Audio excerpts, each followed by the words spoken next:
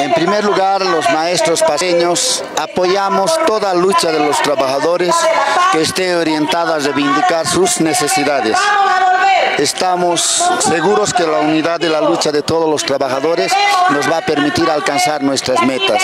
Por esa situación nosotros apoyamos la lucha de los compañeros de ADEPCOCA que se oponen a que se cree otra federación, otra ADEPCOCA paralela, solo para favorecer los intereses mezquinos del gobierno.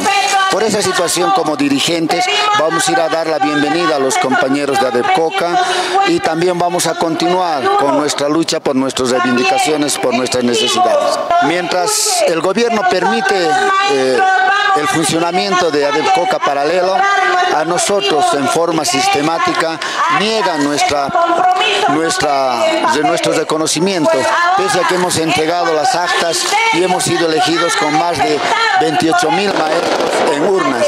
Y nosotros ratificamos una vez más, el gobierno lo único que hace es mostrar los rasgos fascistas que desarrolla día a día, pero el magisterio no va a retroceder, va a continuar en su lucha.